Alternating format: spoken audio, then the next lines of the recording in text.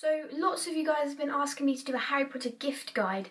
Um, and a lot of people have said, oh, so that I know what to tell people that I would like for Christmas or uh, to help out with buying Harry Potter fans uh, presents for Christmas. So uh, I, I, wasn't really sure how to do this, so I'm just going to give a couple of things that I think are small and cheap and easy that you can buy people, and a couple of really good online places and shops if you can get to them where you can buy Harry Potter merchandise. So uh, the number one place I would suggest looking is Etsy. Um, if you don't know, Etsy is a really uh, great online shop where people can upload their own products that they've made. So the merchandise isn't official merchandise, but it's equally beautiful and you get some really amazing pieces. Mostly uh, it's good for t-shirts and jewellery. Um, I'll show you a few examples in a minute, but uh, it's also uh, quite cheap in some areas, so a lot of the jewellery you can get some really nice Harry Potter bracelets and things like that um, for really reasonable prices. So uh, whether you're in a Secret Santa and you need to get something for someone, or you want suggestions, or you've got a sibling or a friend who's really into Harry Potter and you can't think of anything that's fairly small to get them, um, Etsy's great. Uh, these sort this is the sort of thing you can get. Um, you can also find these on eBay for a really similar price, so I, would suggest eBay as well, especially if you're looking for Potter jewellery. You get these really cool uh, golden snitch bracelets. This will literally cost an average of three to four pounds. Uh, that's all I would pay for it because that's where how much you can get it for. So check out uh, eBay and Etsy for that. Also, you can get cool things like replica Horcrux rings. Uh, this was literally only a couple of pounds, and again the same with this golden snitch ring. And they're just a few examples of the massive array of what kind of jewelry you can get. You can get uh, lost diadem necklaces and key rings, uh, Deathly Hallows. Honestly, so much stuff. Uh, I, if you've got a Harry Potter fan that doesn't have much merch or they don't have anything, what I would say, my main thing to get them would be a Deathly Hallows necklace because it's like a really iconic thing. They can wear it all the time.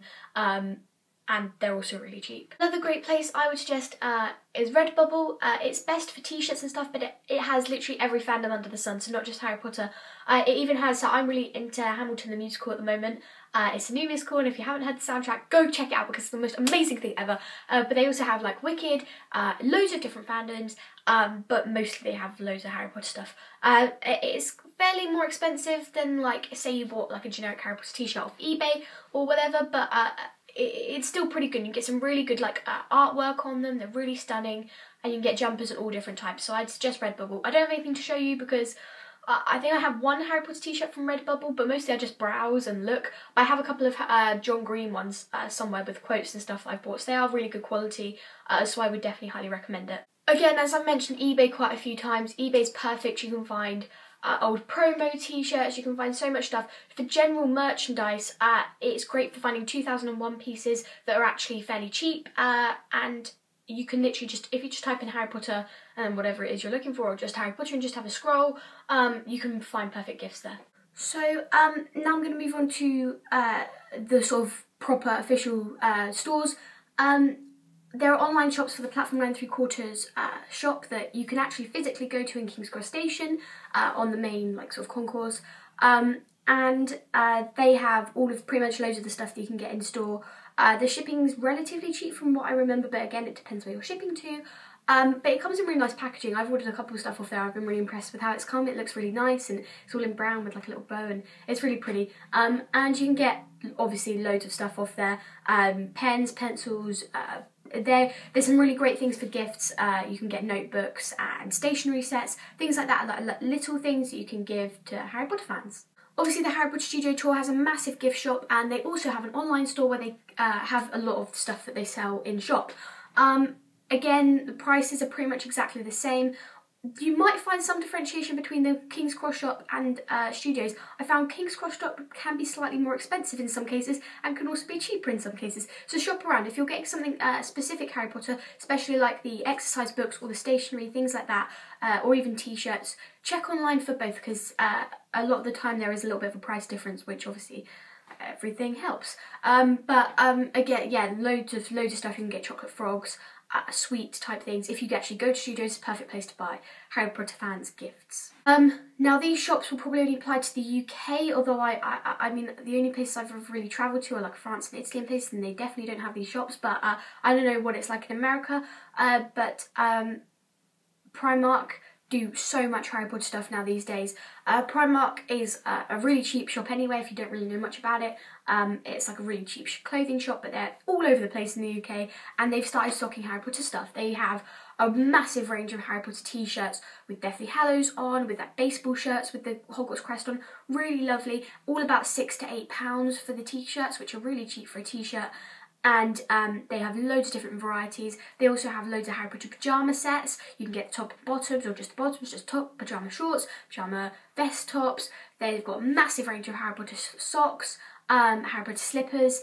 Um, really, just a massive range. You can buy Harry Potter jogging bottoms. So if you're if you're you know in the UK and you can get to a, a Primark or wherever you are, you get to a Primark and you're looking for cheapish Harry Potter presents they are the perfect place. Like literally Primark has so much Harry Potter stuff right now, it's insane. Um, I've also seen uh, they have Harry Potter stuff in Waterstones, obviously because it's a bookshop, and I presume Barnes and Noble will be the same. Uh, but Waterstones tend to have Harry sections now, uh, where they've got all of the new copies of the books and they also sell the pop vinyls in there. Harry Potter pop, pop vinyls are great gifts for people. Harry Potter pop vinyls look like this if you don't already know. I've got three so far and hopefully, fingers crossed, I've got the rest for Christmas and I'll, if I do then I'll do a video just on pop vinyls afterwards. But you can buy these online um, from Forbidden Planet, which is another great shop for fandom stuff. Um, or you can get them from Waterstones or from the actual uh, Pop Funko website. Um, but these are great. They're usually about £10 depending on where you get them from. Some places sell them at more like a £15 mark. But they're so cool. They're really adorable. There's like loads of different ones to get. So they're really cool presents. But like I was saying, you can get them in Waterstones for about 11 or 12 pounds, I think. And in Waterstones, they also are uh, selling, in the one near me at least, they're selling a Harry Potter stationery kit, which is about 24 pounds, but it's got a notebook in, a wax seal set, uh, letters and parchment, that sort of thing, and it's really, really cool. I had to restrain myself not to buy it because I'm on a buying merch ban until after Christmas. Uh, but um, it's really, really cool, and they also do loads of Harry Potter notebooks in there um, and things like that. They also have the Harry Potter sticker kits. Mostly, the sticker kits are a great gift for uh, Harry Potter fans because they're so they're small but they're cute and they're really collectible and really nice. Um, you can get them in Waterstones for roughly five pounds each. I did a video on my sticker kits if you want to scroll down and find it, um, where I just went into detail about the sticker collections because they come with little figures and they're really cool. Um, but you can also get them online and from Barnes & Noble, I've been told. So I hope this was sort of what you guys were after when I said when you were suggesting a Harry Potter gift guide. Uh, I didn't really know how to do that, so I've just sort of gone through the places that I usually buy merch and a few pieces that I think would make good gifts.